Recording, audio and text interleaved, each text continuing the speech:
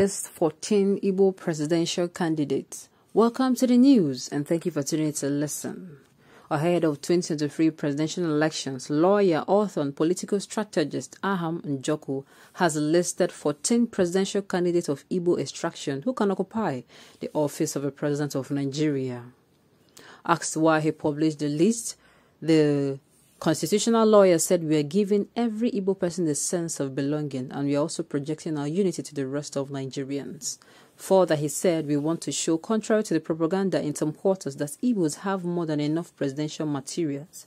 We are saying that all political parties should adopt an Igbo presidential candidate, just like in 1999 when both PDP and AD fielded two Yoruba presidential candidates, Igbo should now be fielded in all political parties. According to him, since independence, the North has always been the political partners of the East. In 1960, Dr. Nnamdi Azikiwe was the president while Alhaji Tafawa Balewa was the prime minister. In 1979, President Shehu Shagari was the president and Dr. Alex Ekwueme was the vice president. Even President Babangida chose Ebitu Ukiwe to be his vice. Asked about Bola Tinubu's aspiration, Njoku said Bola Tinubu knows that it is the turn of the Igbos to produce the president. He should wait till it is the turn of the Yorubas. Do not forget that in 1999, Igbos were shortchanged when Dr. Al Alex Ekwueme was asked to step aside for Olusegun Obasanjo to assuage Yorubas for MKO Abiola's issue. See the list. Peter Obi, Nnia Nwodo, Dr. Chris Ngige, Dr. Ogbonnaya Onu, Senator Pius Anyim, Senator Ike Eweremadu, Chief Emeka Ihedioha, Chibike Amechi, Barrister Ezenwo Wike, Dr. Ifani Okowa, Engineer Dave Umahi, Barrister Emeka Wajuba, Chief Obi Agocha, and Dr. Kinsley Mogalo. These are the list of the names he listed. The only legit names I see here are Peter Obi, Ekweremadu, and Kingsley. The rest are Fulani messengers. Which Ekweremadu, what example did he lay as Deputy Senate President for eight years?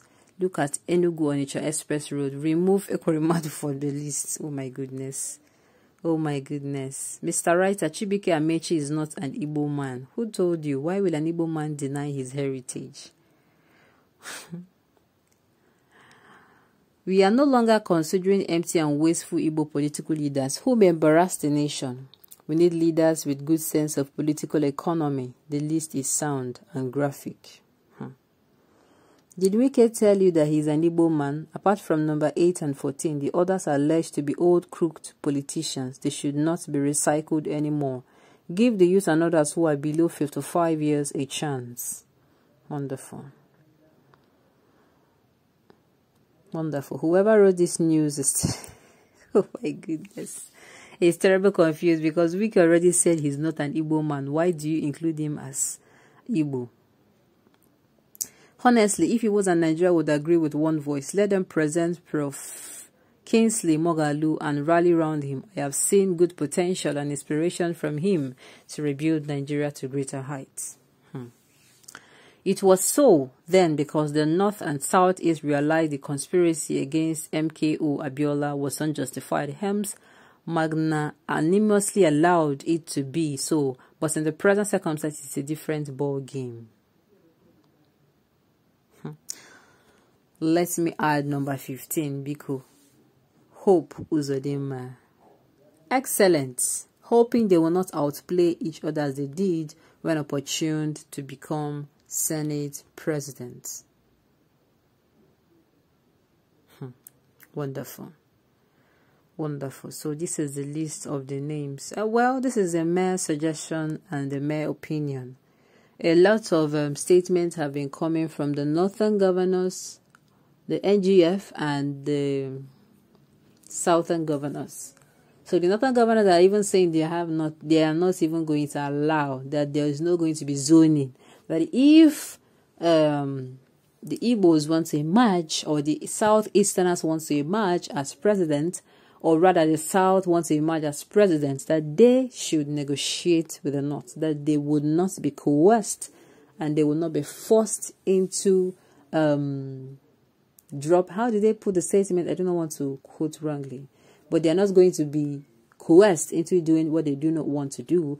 That as far as they are concerned, that the North are capable enough in terms of popular, I mean population, to produce the next president of Nigeria. And I keep saying this: population is not our problem that the north or the south or what have you have population is not a problem. It is not even where this person comes from now that is the issue. Though right now, right now with the situation in Nigeria, having a president from the south, not just the south, the southeast will calm a lot of agitations. In fact, it will calm the agitation that is raging everywhere, that is everywhere, and that is increasing with um, each passing day it will calm it down very well, if not bring it to the barest minimum. So um, this particular issue will calm it down. But the truth is, Nigerians do not need a leader from this place. We need a Nigerian president that will come in and will shun bad governance, will come in and will shun nepotism, will come in and will shun ethnicism, will come in and will shun tribalism. It is going to be done we need somebody that is very strong minded because um, a lot of things will happen. Things like, oh, these people, this particular region, when they were in government, they were marginalizing us. We want them to have a taste of how it can feel like. That will kick against it. The person that will say no, even though we have been marginalized. Somebody that will say, even though the land is bleeding, we should not keep cutting ourselves.